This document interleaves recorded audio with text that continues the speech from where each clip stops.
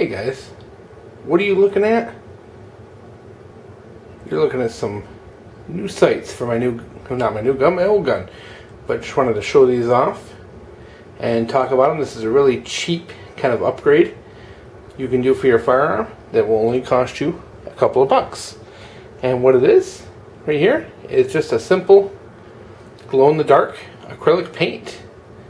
And so let's hit the lights and uh, talk about it. Now this here is a, uh, we'll show you the sights before we get talking, how they look in the daytime. Really not much different, they just look like normal white sights. Maybe a little brighter when you have the lights on. But uh, I picked this up, and this is a glow on. If we can focus here. Product name is Glow On. It's a small little tiny vial of glow in the dark paint, and uh, this is actually enough to do a lot of firearms. I did pretty much every uh, pistol I had, and it uh, barely touched it. So you could do probably an arsenal with that little bottle. It cost me eight bucks through Amazon, and you don't have to buy this stuff through Amazon.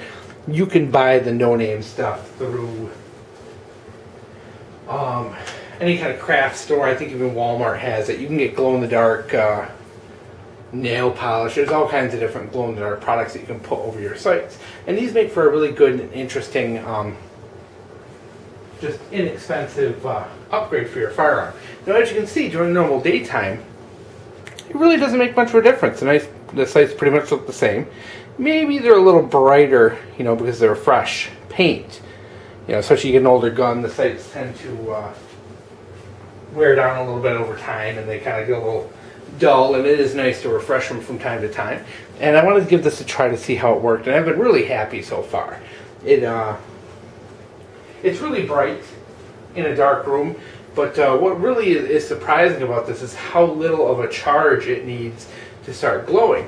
Now, I charged this up with a flashlight before the video for demonstration purposes, but in reality, if you uh, just literally bring this into a bright room for a couple of minutes, it'll actually have a pretty good glow on it, which is what I found impressive, because in reality, what good is the sight if you have to charge it with a flashlight? Um, in low light rooms, not pitch black. It's actually very handy. That very slight glow is uh, very helpful. And is this a perfect solution? Absolutely not.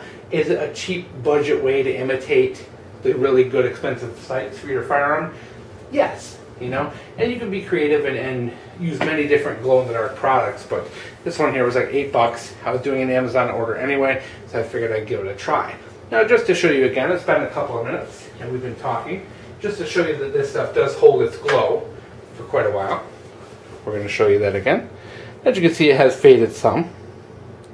Because, of course, the uh, charge isn't there. But like I said, this is the kind of charge you're going to get from natural light.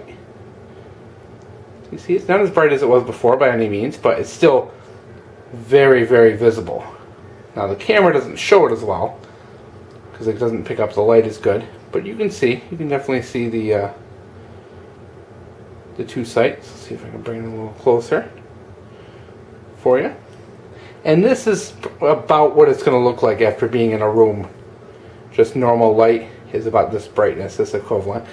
Um, but like I said, daytime, you're not really noticing much of a difference in the daytime.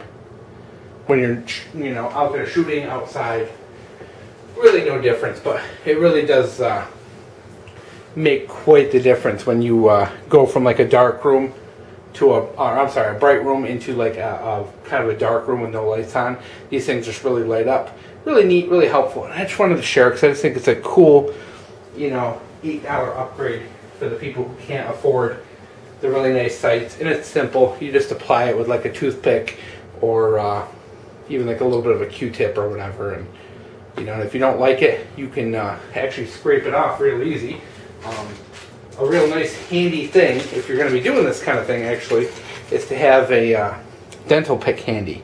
And you can pick these up, a lot of gun shops carry these, and they're like, maybe you get them for like two for three dollars, so they're like a buck fifty. You can actually use these to scrape out the old paint Or if you don't like what you did or you did too much, you can use this to scrape up the dry paint. So it's a really handy tool to have when you're messing around with your sight. And like I said, if you don't like it, let it dry, scrape it out, try something different.